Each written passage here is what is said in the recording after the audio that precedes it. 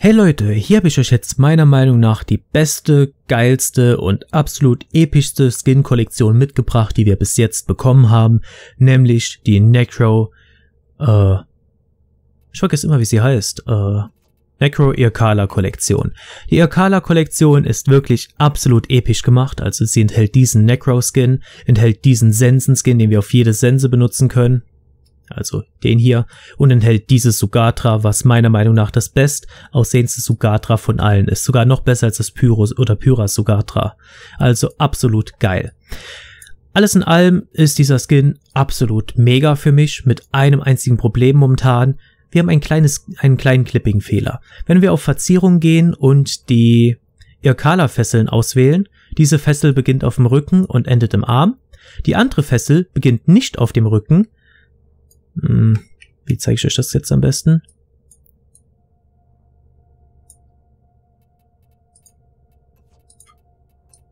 Die andere Fessel beginnt hier vorne in der Brust und geht hier rüber in den Arm. Das ist falsch.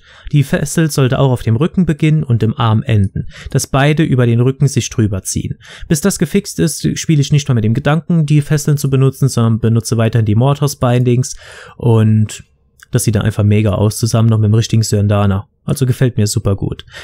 Ähm, ja, falls ihr diese Kollektion haben wollt, dann müsst ihr hier oben an die Konsole gehen und müsst entweder Necro eingeben oder Irkala oder Thanatos. Also dann kommen wir hier, Skin-Kollektion Irkala oder nur den Irkala Skin. Gebe ich Thanatos ein, komme ich auch auf die Kollektion. Weil der Sensen-Skin heißt Thanatos und das Sugatra heißt auch Thanatos. Ich gehe davon aus, das ist nichts, was ich jetzt mit Sicherheit weiß, aber dass wenn man sich den Skin einzeln kauft für Necro, dass da auch die Bindings dabei sind. Da bin ich mir wirklich ziemlich sicher. Also es ist nichts, was ich weiß, aber ich gehe davon aus.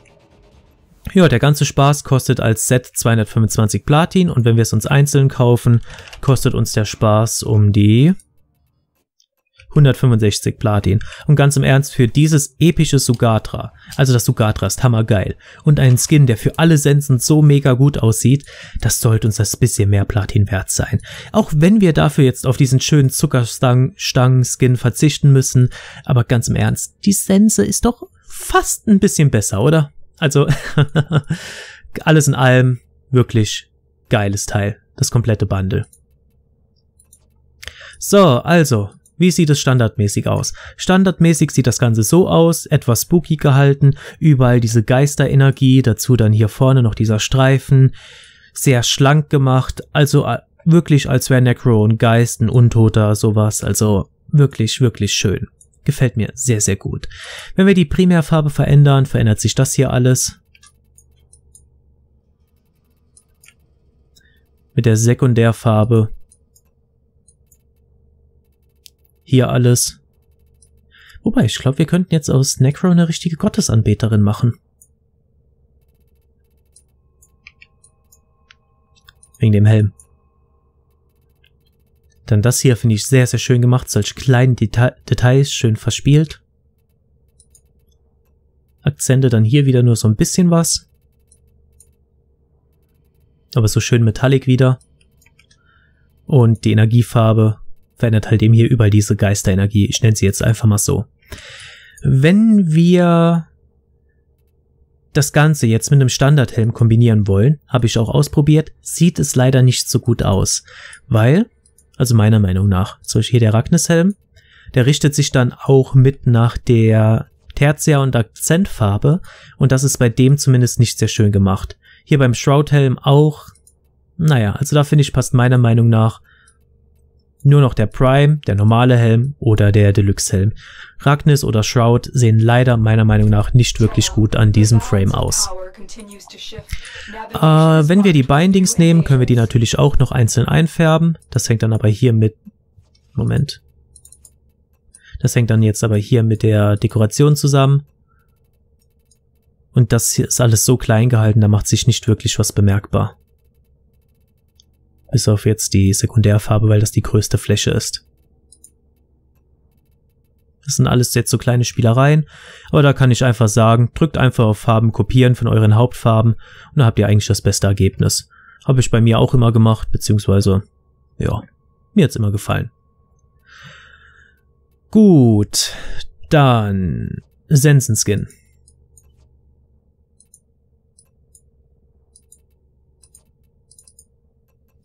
Primärfarbe. Ändert hier den Griff. Sehr matte Farben. Sekundärfarbe. Na, ihr seht ja, was es verändert. Tertiär.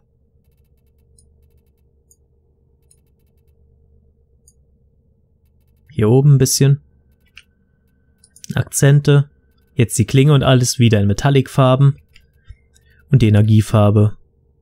Die Geisterfarbe hier. Ach ja, das habe ich gerade eben vergessen zu sagen. Bei Necro natürlich auch. Wenn wir die Energiefarbe verändern, dann verändert sich hier so alles mit. Die ganze Geisterenergie und so. Also kann man wirklich schöne Sachen draus machen. Und ja, ich weiß, ich spreche diesen Frame falsch aus. Das liegt unter anderem daran, dass wir die ersten zwei Jahre lang keinen Namen für diesen Frame ausgesprochen hatten und jeder davon ausgegangen ist, dass es ein stummes S. Aber Necro finde ich auch besser als Necros, also ganz im Ernst, Necros. Also egal wie man es ausspricht, wenn man nicht Necros sagt, finde ich, klingt es falsch. Es klingt einfach nicht mehr schön. So, dann Verzierung, Auxiliary, Thanatos, das ist das hier. Und das ist einfach so super schön gemacht. Achtet auf diese ganzen Details, wie es gemacht ist. Kein Clipping-Fehler, nichts. Also die Primärfarbe macht jetzt sehr, sehr wenig hier aus. Sekundärfarbe wieder etwas mehr. Tertia wieder etwas weniger. Aber wir haben hier eh nicht viel Fläche, also von daher die Akzente wieder in Metallic gehalten und wieder eine große Fläche, also das sind Sachen, die mag ich einfach. Die Energiefarbe ändert hier auch die Geisterfarbe. Ja, also alles in allem. Huch, was ist denn da oben mit meinem Teil los? Seit wann ist das zu? Ähm, alles in allem ist das wirklich äh, ein Skin-Bundle, dass das Platin absolut wert ist. Also es sieht einfach nur mega episch geil aus nichts ist darin, was nicht mega gut ist und es ist auch nichts drin, was ich nicht benutzen könnte, benutzen würde, wenn ich es benutzen könnte. Also in meinen Augen ist es jetzt sogar wert, drüber nachzudenken, nochmal Sensen zu spielen, auch wenn sie nicht so gut sind im Vergleich zu anderen Waffen, allein schon wegen diesem mega geilen Skin. Ganz im Ernst, also sieht einfach alles richtig geil aus. Für die, die es interessiert, hier habe ich zweimal schwarz genommen, dann habe ich zweimal aus den Gamma-Farben, die man glaube ich gar nicht mehr bekommen kann, hier diesen Hautton rausgenommen, und dann einmal bei Energiefarbe hier diesen Grünton, links, rechts Kuva und, ach ja, da unten auch Kuva und hier vorne habe ich wieder die Foros plus, die Foros, Ferros, die Ferros Brustplatte. Normale Mortos fesseln, bis die anderen gefixt werden und als Sörndana habe ich hier hinten jetzt das Mozi Sörndana drauf. Einfach damit ich noch mehr von diesen Bindings habe. Ja, alles in allem Frame, den ich jetzt noch geiler finde als vorher. Ihr wisst ja, ich habe meinen alten Necro geliebt, ich habe so viel Zeit mit dem Einfärben verbracht, aber ganz im Ernst, das hier ist einfach so schön gemacht, so detailreich, so außergewöhnlich. Ich find's einfach nur mega geil. Falls ihr meine Meinung wissen wollt, kauft euch diese Skin-Kollektion, wirklich das komplette Bundle. Es ist es einfach wert. Okay, ich hoffe, ich konnte euch hiermit helfen. Falls ja, lasst mir ein Abo und ein Like da und bis bald.